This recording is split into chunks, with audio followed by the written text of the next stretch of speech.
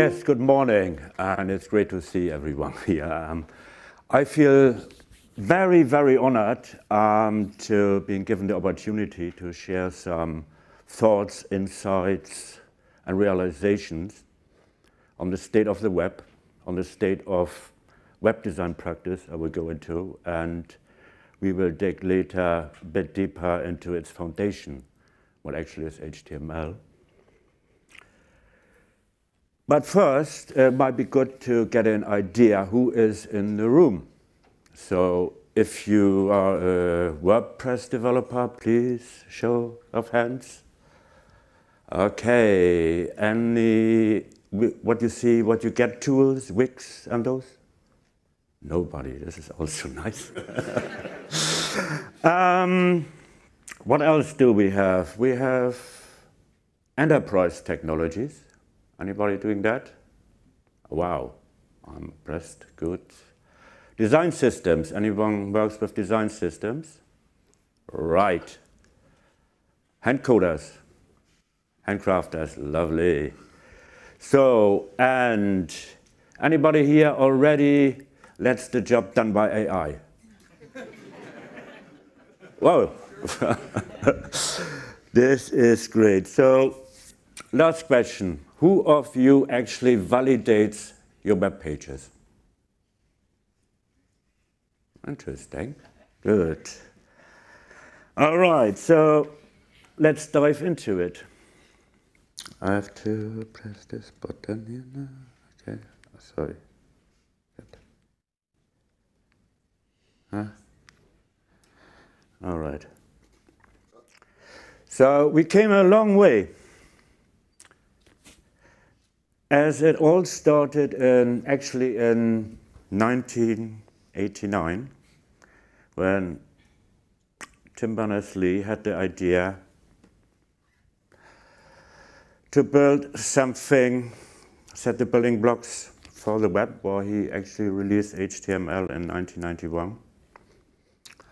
And then there have been two, two, two websites, really, and a bit later, being 3,000. I came in by 1996, I believe, and it was that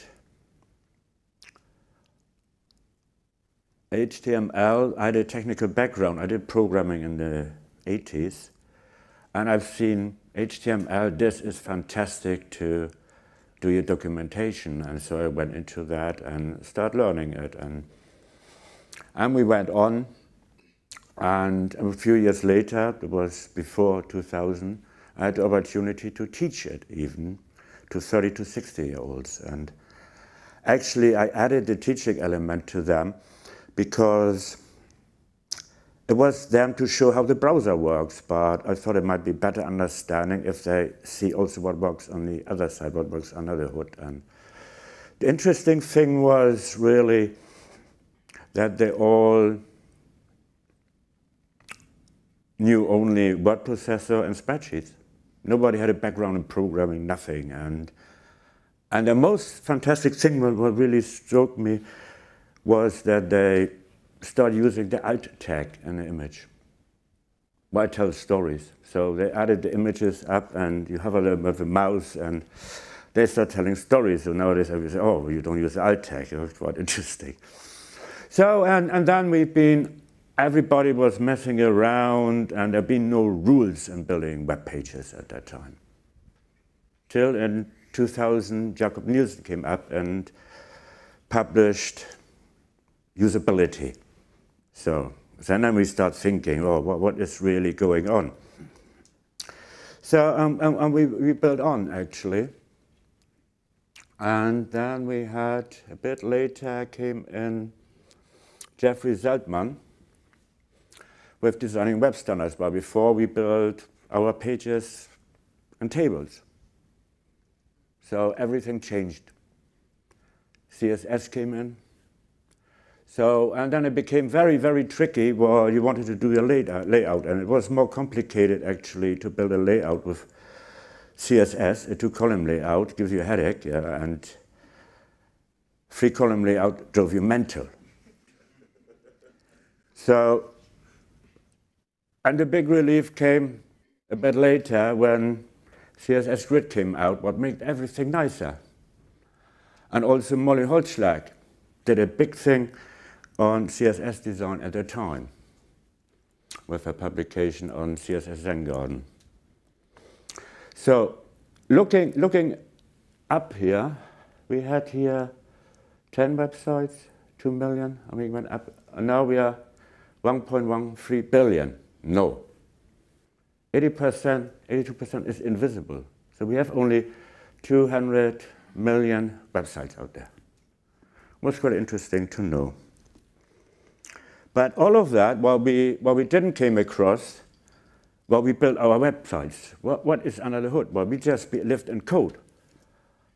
So this was already released in 2006. It shows the different layers of a web page. So what's behind it? Yeah. So it all starts with a strategy. You have a scope, you build a structure, yeah, information architecture, all of that a skeleton, the surface. That's what we see on the display. And most people, and, and you, you see nowadays um, businesses, when they think about website, they see only the surface. It's like, it's like the old town when you, when you have the Western movie and you have the facade and the, what, what is behind that. That was the understanding, and, and I think this is really great coming across. And I came quite late to see it, it's just a few years ago. But understanding UX came, came into that was 2006, yes. So, so web standards in the old days been not really relevant. We, we didn't know about that before 2000, that there been web standards. But with this, and, and we see what we can do, web standards became, yeah, standards. So, and I, I think the new definition by the W3C is really nice. Web standards are the blueprints or building blocks of a consistent, harmonious, digital, connected world. They are implemented in browsers, blogs, search engines, and other software to power our experience on the web. Yeah, it's, it's, it's, it's interconnected, interoperable, and it is important, while standards, it's the same as you can't mix imperial with metrics. So we need standards, this is important. So, so what happened then? We are here now. so seriously, do we have standards and who, who actually cares about the standards? And It was uh, last year when I came across a lady, she was a businesswoman, and she ran three websites. She approached me and said, if I can help her with her websites. I said, what's, what's, what's up with them? Yeah, I had a, or I have a graphic designer and she built everything in Wix. They don't validate. I said, okay. And I was ring, ring a bell with me, oh, validation, yeah. Well, I've been running code, I've been coding all the time. I, it wasn't really in my head validation when, when you understand how to code about syntax and the quality. So, so I looked into that and I said, okay, Wix, Wix is doing that. Interesting.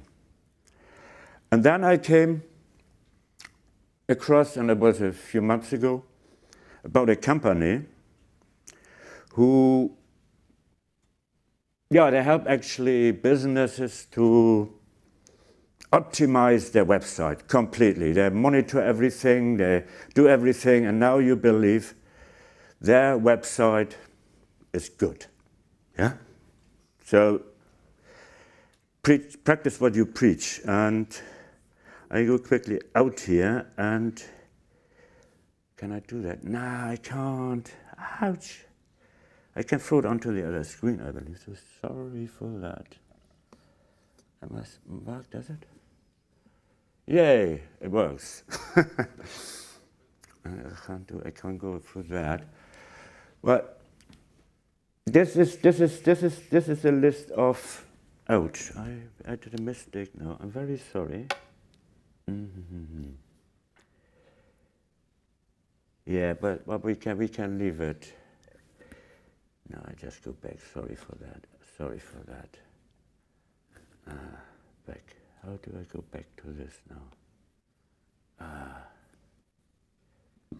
Okay, try that way. Okay, go back to here. Okay, so sorry for that.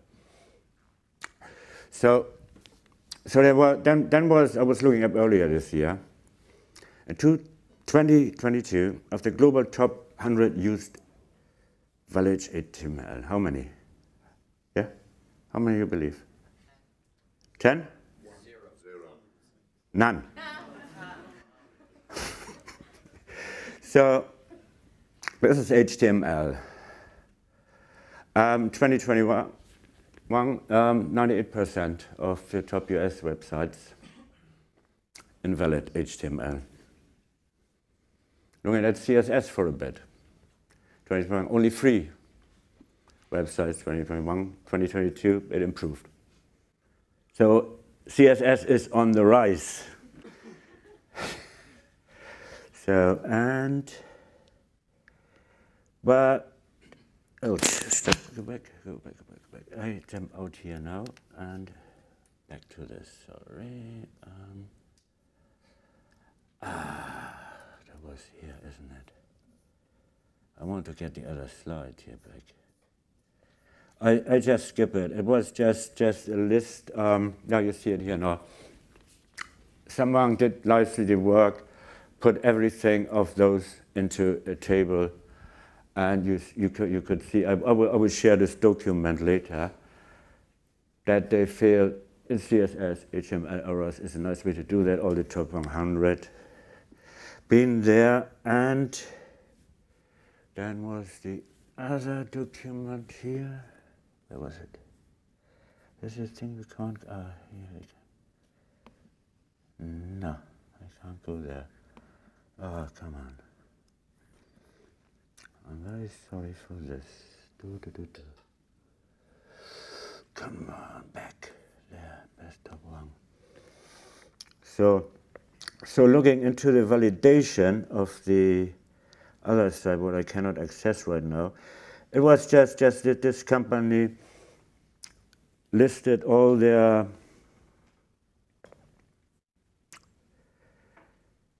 errors and I, I, ran them through and I couldn't believe that what practice what you preach and 380 lines of warnings, errors.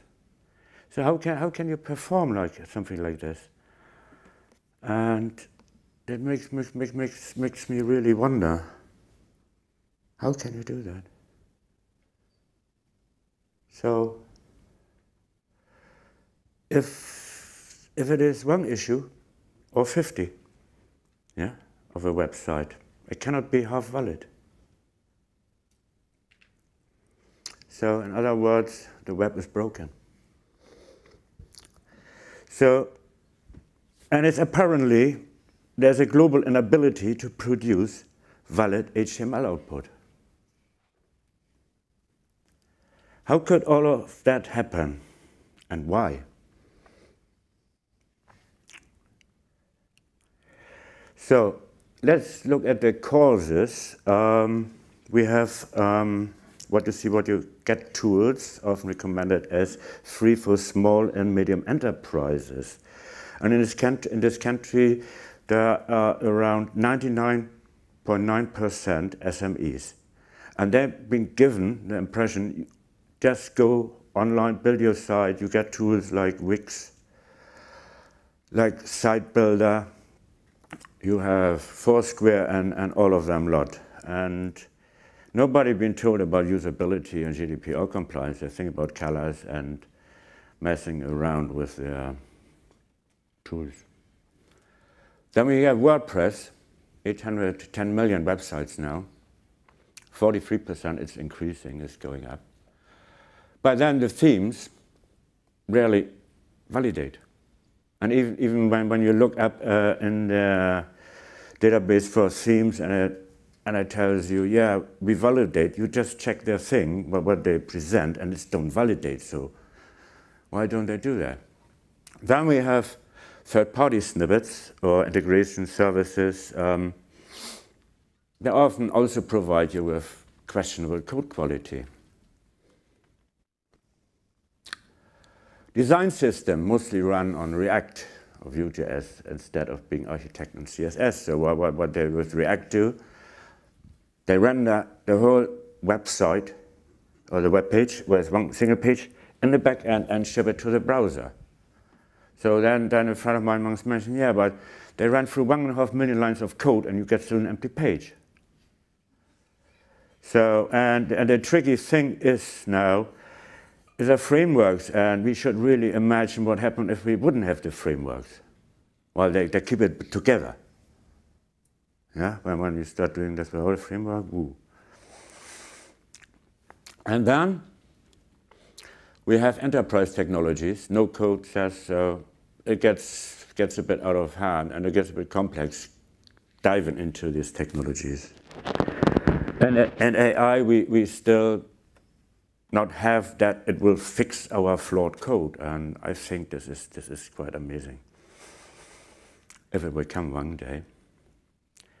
So one thing I found really, really important, and probably the most important, is an inadequate teaching, online or in print. And, and I've, I've seen so many teaching and free code camp, boot camps, yeah, you're now a programmer, you're a software engineer, in a boot camp after three months, I'm sorry. So, but the outreach, the outreach and teaching when you go online, can be thousands. And I've, I've, see, I've seen teaching, and I come back to that in a bit. So, what's been taught? So, why do we need to validate? What are its benefits? So, search engine optimization is certainly affected, accessibility, and security. And that's what nobody really thinks about. So let's, let's dig into that for a sec. So search crawlers have a difficulty to discover your content where the content is a mess. There's code yeah, surrounding it. So, and it needs to be correctly structured semantically. Div, probably best to replace it wherever you can, especially with semantics. And for businesses, well, their, their sites fail. And everybody wants search engine optimization, all of that. So why don't you fix your code first before you invest lots of money and effort into search engine optimization, into the architecture of your content?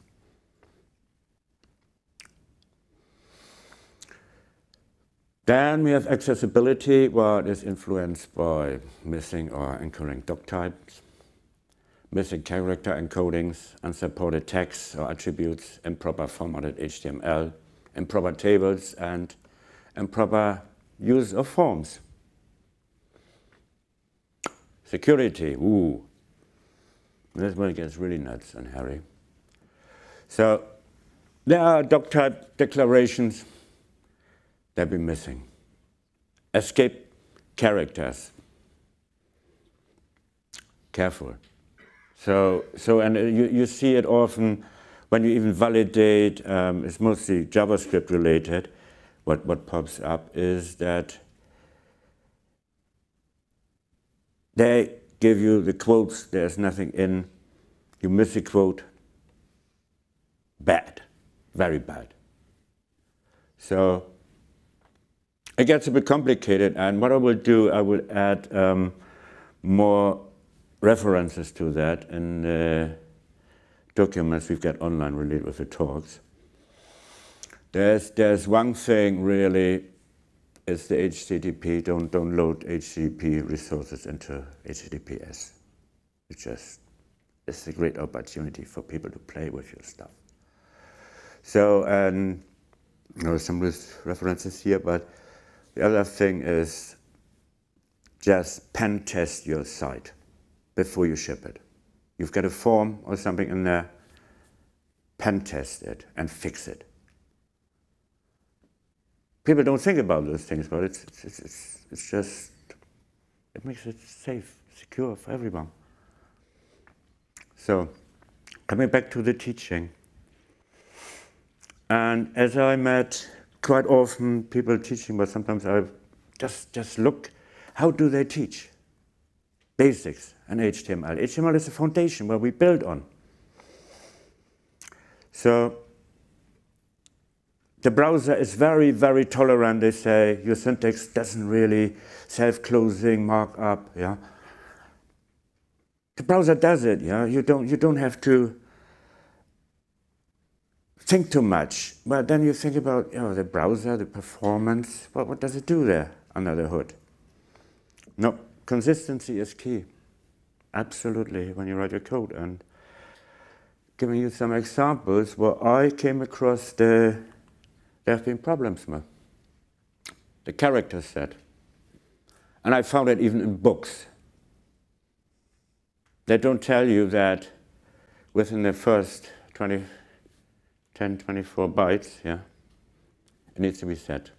So it should be prioritized at the top. On the top, you get the English here. Oh, oh, stop, stop, go back. Ah, what was this now? Sorry. Okay, just skipped out of that. Okay. So, so, so the language comes first, and then you set the character set before the title. The title can be longer. You can, you can have more stuff in there, and then I've seen, oh, you, you put a character set, the definition there. You can't do that. Put it on top. It causes trouble. Another thing. Image. Images. So often we, we say, yeah, focus on the alt attribute. Yeah, it's okay. Accessibility is very important. But the browser, if, if it's not getting the image size, what does it do? It tries to calculate it. And you get all this flickering, images in a browser and it shifts the layout around and all of that. So, and the browser doesn't need to calculate, just add the pixels, the height, the width. Yeah. And then there's another thing where often I've seen nobody uses it really, it's the title. It gives you search engine optimization enhancement.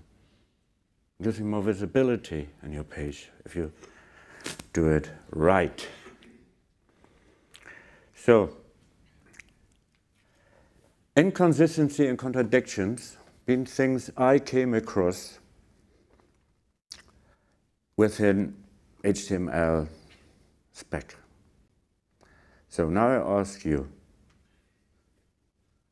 what is right, what is wrong?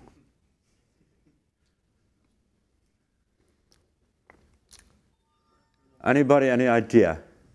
It's an acronym. Huh? It's an acronym. What is an acronym? Mm-hmm. HTML is not an abbreviation of the word because it's several words together. No, this is this where, where it gets really bad. The W3C, uh, it was Microsoft in the old days, they said, oh yeah, we add the acronym to abbreviation. Then the W3C, they said, oh, it's too difficult for developers to distinguish between acronym and abbreviation. So they put it as abbreviation, that's all what's there. They, they removed the acronym. If you talk nowadays to content strategists, you talk to journalists, writers, authors and them, they know. And they're not happy with that, that there's only abbreviation. The thing is, ouch, go back. Hello? ah! Sorry for that. it happens. Well, when you use these things. Okay, sorry. We're all friendly here, hopefully. So I have to press this button here. Yeah, you see? Hypertext is one word, not two. So it's an abbreviation. An acronym is where everything is that. It's, it's separate. So CSS, they both are correct but still the acronym is still not part of the spec. And it, should be, it should be. While you think about people nowadays, they work a lot with content, and it should be there. And I, I'm, feel, I'm not feeling happy. Don't know how you. Anybody deals with content? So there's uh, something should be done actually about that. So, so both are correct. Okay. There's another another thing what gives me a bit of creeps. When we, we had recently Corona and everybody went online. And what, hap what happened then is you have webinars, you have meetups, you, you start, there's no meetup in person, so everything is online, everybody is online. And, and you find in Philadelphia a meetup talks about you're interested in, and it's across, across, across the globe. What happened now is we have the spec for date and time. And I notice I have been missing quite a few webinars because of the time zone. What they start doing, you got here, uh, the right button, we got here the UTC. That's cool. It's good having that. Yeah? You can calculate from there. For, for a normal person, oh, it's that time zone. You, you look up on the website, when, when is the time? Okay? Well, in my zone. So we go from PST, Pacific Standard Time, or PT, Pacific Time, to BST, or, or GMT. Cool. Now what happens is that in the States, that one changes at a different time as you change the BST to GMT. So sometimes you miss out by an hour. And then we have, as an example, you know, America or Los Angeles. It's probably also very difficult for, for a user or for, for a web developer to get that right, get it in. What, what do I have to type into that? American, Los Angeles. You have to, you have to look it up and instead of using really the PST. So it would be probably very desirable having the PST, the GMT, and around the globe, them also in that standard. It, make, it would make things easier and let the browser calculate that. Okay, moving on. Second languages. So often we see, and I, and I like to look at those pages, these websites, um, restaurant websites, they're really cool. Has anybody experienced looking at a menu on a restaurant site? Mostly you end up straight away with a PDF and not even, don't think about the mobile. On the desktop, you've got even difficulties to, to see what, what, what, what do they serve, what's on the menu. So, and don't expect at that moment when you look at an Italian restaurant that they, they really give you the nice thing in Italian or in French. Do they mark it up? as a second language, but it's what you need to do. So the second language ends up as garbage words, that's within English. And then I had once a project, I've been working on that, to add a second language within a sentence, within a paragraph. And it took me quite a while to figure that out. And, ah, no, back, there we go, come on. Yeah, okay, sorry, wrong button.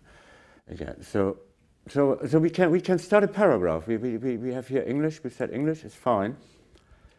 That, then we come here and we have a DFN, definition. Well, it's cool, I had to abuse it. There is no trans-L tag. So, and I set the language to Sanskrit. And that's what I typed in.